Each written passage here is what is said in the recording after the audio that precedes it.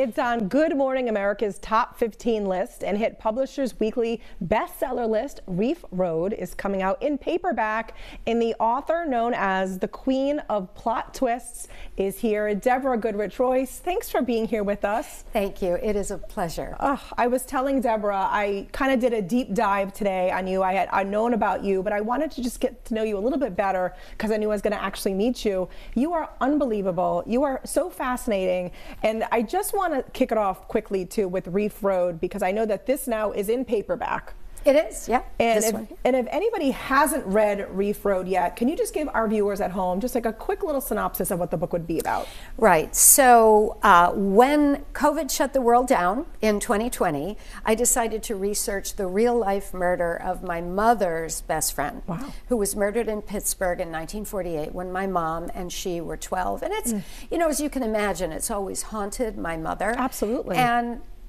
lo and behold, there I was, grounded in Florida, and there was so much material available on the real murder, and it made its way into this twisty thriller, which is a story of two women in Florida in the COVID lockdown.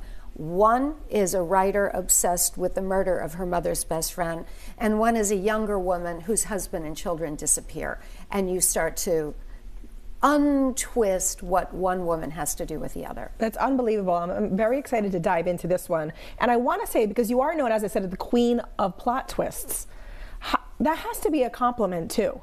It's a high compliment. Yeah, I, I've always been a fan of, of a good Hitchcock movie. You know, I love.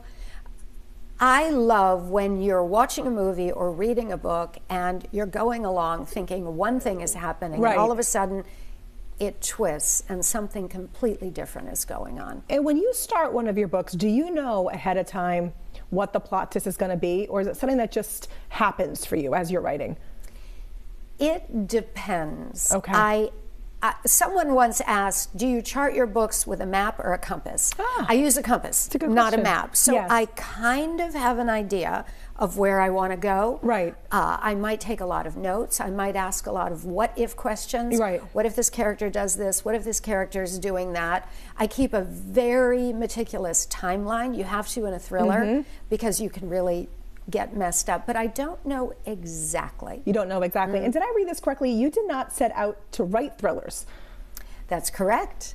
Uh, so, That's Finding Mrs. Ford, which is my Rhode Island book, it's set in Watch Hill. It began as a, a piece of literary fiction with a doozy of a twist. And when I signed with my agent, she said, Can you bring this more into thriller? Wow. Which I did. Which you did yeah. easily. Mm-hmm. And then I love too, I love that you said you examine the secrets that people keep. And that just really hit me. Like that, I mean, is that exactly what you love to do? You love to actually take that piece and create with that in mind. We all have secrets. Most of our secrets are quite benign. You will have them, I have yep. them, and occasionally in life, we were talking earlier, we meet people who really have big ones. Right. And it's always a shock. Right. And I've thought a lot about that. When I was an actress, I did the TV movie with Mark Harmon about Ted Bundy. I played the woman who married Bundy. You know, what was she thinking? Right.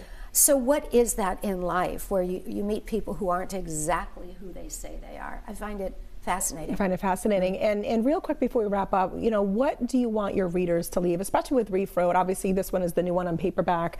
What would you like your readers to leave after they read your book? That's really the great question. The theme is generational trauma. Mm. My real life mother went through this. It's affected me. I think it's affected my daughters in a way. Mm. I think we all carry burdens that aren't ours. Yeah. And what do we do about it? So right. that's the underlying theme.